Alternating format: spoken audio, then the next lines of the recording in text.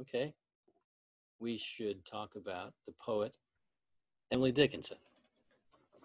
My guess is that you all at some point have heard of Emily Dickinson. You probably heard that she was a crazy lady who stayed indoors during her whole life and wrote poems in her bedroom upstairs. Well, some of that's true. The thing is, Dickinson had uh, a problem with her eyesight. She was very sensitive to bright light. So she, uh, she did tend to stay indoors a lot. She wasn't really, uh, you know, a crazy at home agoraphobic lady, though. She had friends and she was very close with her sister Lavinia, especially after their parents died and they shared that big house in Amherst, Massachusetts together. Both sisters were also very close with their brother Austin, who lived next door with his wife Susan. And Emily did have boyfriends and suitors that we know of. She wrote some very steamy letters to a banker gentleman who had proposed marriage to her. So she got out and she certainly knew the world. Mostly, though, uh, in order to understand the world, she read deeply. She seems to have read everything from the magazines of her day, and she was deeply read in the literature of her day as well.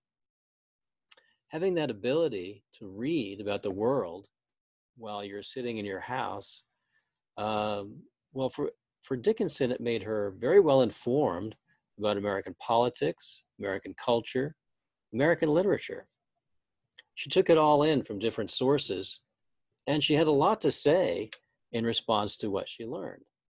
So we read her poetry because in her verse, we see a lady who was very astute as a critic of American society. For example, in the short poem, uh, Faith is a fine invention for gentlemen who see, but microscopes are prudent in an emergency. She wrote this short poem sometime after Charles Darwin, Darwin had published his book on the origin of species, which describes the process of evolution. Now, this book set off a firestorm of controversy because religious people claimed that the theory of evolution denied the existence of the Christian God. So, people began to see the matter as either or. Either you believe in Christianity or you believe in science. Emily's short poem suggests that faith works well for people who belong to that church, and it's a wonderful thing for people who believe. But she seems to be suggesting to those people why take your chances?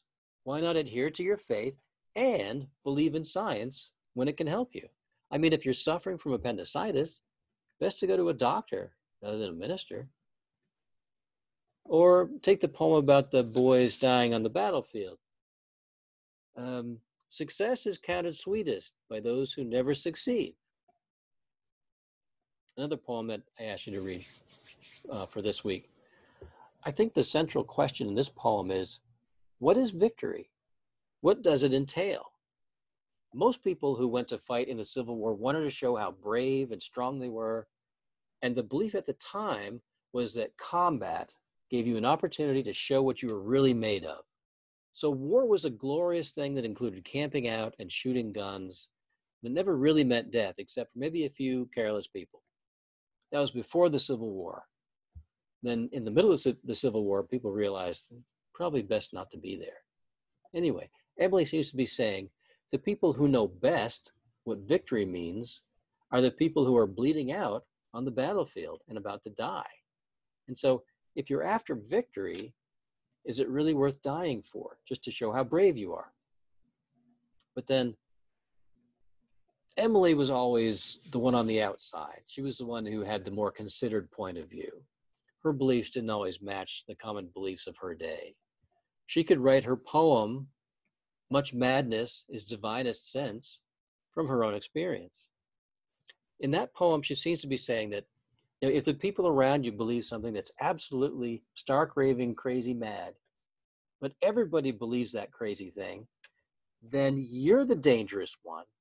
If you believe that the thing makes eh, you're, you're, you're dangerous if you believe the thing that makes sense and isn't crazy. So everybody believes something crazy.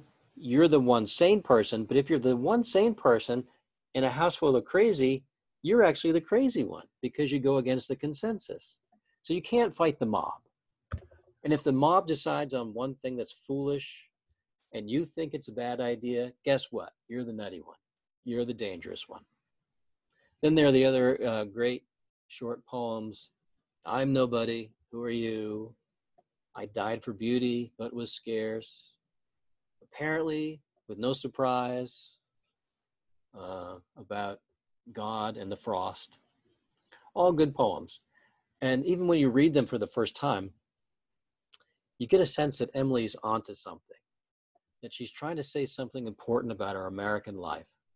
And most of the time, when she's what she's trying to say to us lies just beyond our reach because her playfulness with the language makes her poetry sometimes very complex and difficult and hard to understand. And so we keep coming back to Dickinson time and again. And each time we encounter one of her poems, they become a little more clear, a little more meaningful than they did the last time. So as you read Dickinson, keep in mind that her poetry is full of strong imagery, and that the things that her poems turn on most often are elaborate symbols. So as you read them, where do you see those symbols? How do you read them? And what do they mean to you?